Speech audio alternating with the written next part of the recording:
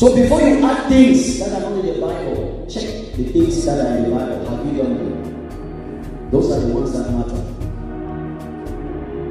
Like I was sharing, if Jesus Christ comes today in our churches, he will pull down the Christmas lights and he will pull down the Christmas trees. Just like when he entered the temple and saw the money changers, he picked their tables and picked their money. My house shall be a house of prayer, not a house of Christmas tree and Christmas light. My house shall be a house of prayer, a house of prayer, a house of prayer, a house of prayer. So if Jesus comes, people expect him to do what they want, but Jesus will do the opposite. He will kick you down. This is not what I told you. What I told you, repent from your repent from your adultery, repent from your fornication, repent from this, Repentance means change of mind of God. Now you begin to search the scriptures and seek Him and continue to follow Him and obey Him. That's why we are here on earth. Thank God for mommy, thank God for daddy, thank God for brothers and sisters, but we are here on earth for Jesus. Hallelujah. So whatsoever Jesus commands you to do, that should be your focus. That should be your focus. God's way, not your own way. That's what matters. Hallelujah. So, I know some people might be angry or upset when I say things like this. You know, as, as, as, a, as a preacher, you can die. For me, I can die anytime. I don't know when I'm going to die. So if I die, I go to heaven. Says, you know this truth, you don't share with people. How am I going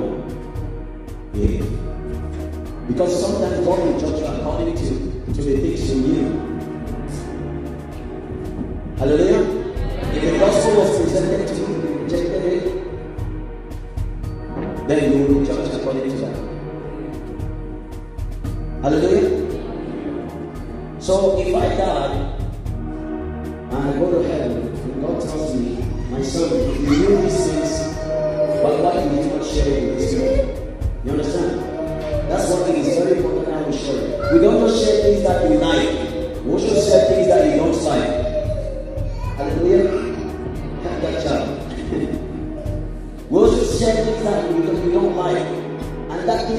thing that you don't like, we to make crucify the man of God, crucify the preacher.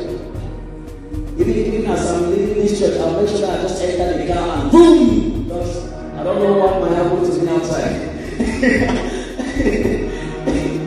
I don't know if one of you will get me outside and say, What were you talking were you saying inside again? so after I finish from there, boom! Straight.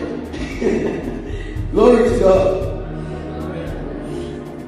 So I will share the information. You make the decision on your own. Hallelujah. Alright. So I got the historic information that I'm going to share with you here from uh, Encyclopedia Britannica.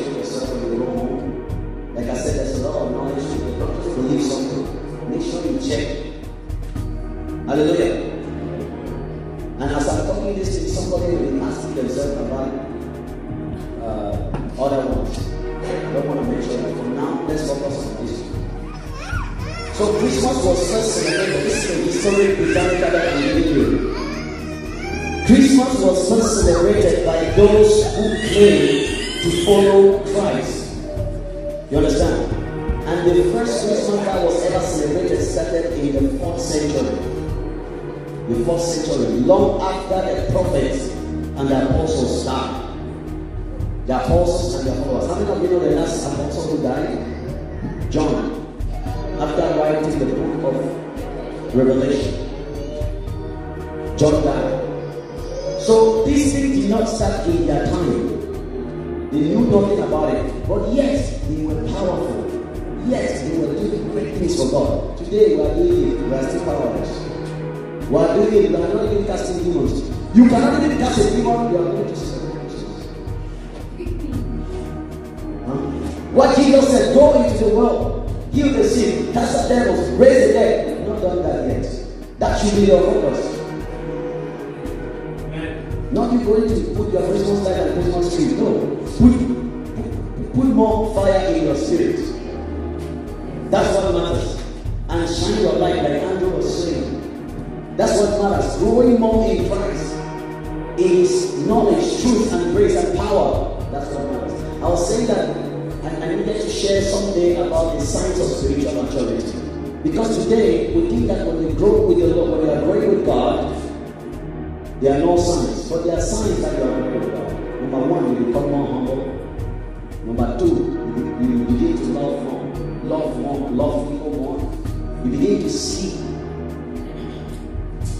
how great God is in every every person. You begin to grow in humility, in power, in love. These are one of the three major ways that you discover the Christian is growing.